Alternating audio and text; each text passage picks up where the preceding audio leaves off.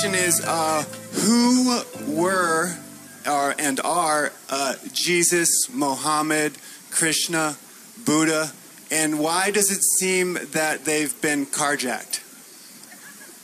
I do not believe any of them drove an automobile. I mean by uh, religion, uh, uh, what we Ah, perceive ah, as ah, religion. yes. They are reflective representations of the collective consciousness. In a sense, you could say they are the world spirit, the world soul. Does that make sense, first of all? They are reflections of the world spirit. Your entire planet's oversouls all collected into one expression. Each of those are reflections of that idea. Each and every one of them fundamentally were telling you the same message we're telling you now. You are also Christ's, Buddha's, Krishna's, Muhammad's, Wovoka's. You are all the same as them. Every single one of them said that to all of you.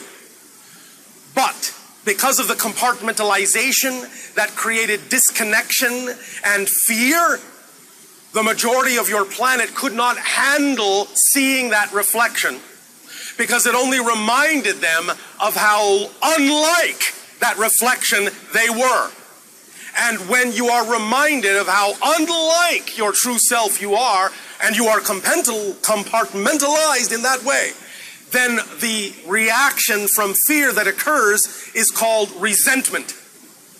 And when you resent being told that you are not who you really know you are, then the fear grows and the resentment grows, and you wind up usually killing the one reminding you of who you are.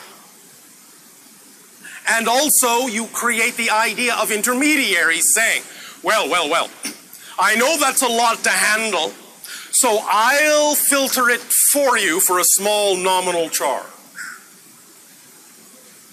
So you create more dissociation, more in betweeners, and you remove and remove and remove and remove yourselves from the original idea that you are also the same as the messenger. Does that make sense? Yes, completely. Thank you so much. Thank you.